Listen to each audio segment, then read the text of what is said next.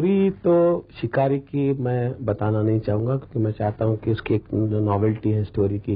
ये लोग जब थिएटर में जाए तो पता चले, लेकिन इतना बता सकता हूँ कि इसमें गोविंदा जो आमतौर पे कॉमेडी फ़िल्में करता है, उसका बहुत ही एक अलग किरदार है और उसमें कई नेगेटिव शेड्स हैं। और गोविंदा के एक नए रूप के लिए ये फ़िल्म जो है, मुझे लगता है कि लोगों को देखने की एक उत्सुकता पैदा हो सकती है।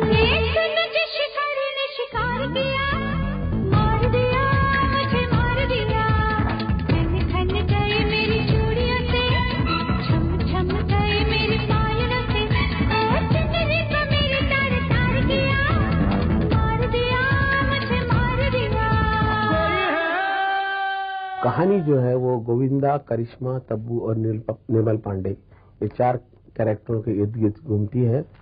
और पिक्चर का पूरा फॉर्मेट जो है वो थ्रिलर का है।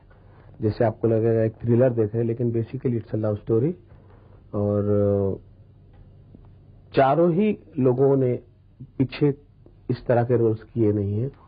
चारों ही किरदार को एक अलग रूप में आप देखेंगे।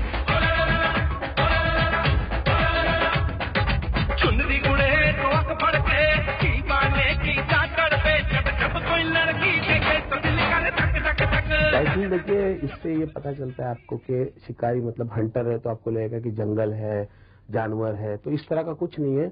इसका जो एक अंडर करंट मीनिंग होता है, शिकारी है, लेकिन वो जानवरों को शिकार करने वाला नहीं, इंसानों की शिकार करने वाले कैरेक्टर की कहानी है।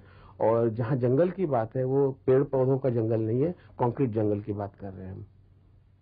तो एक डिफरेंट मीनिंग के तहत ये फ़िल्म शिकारी कहलाती है।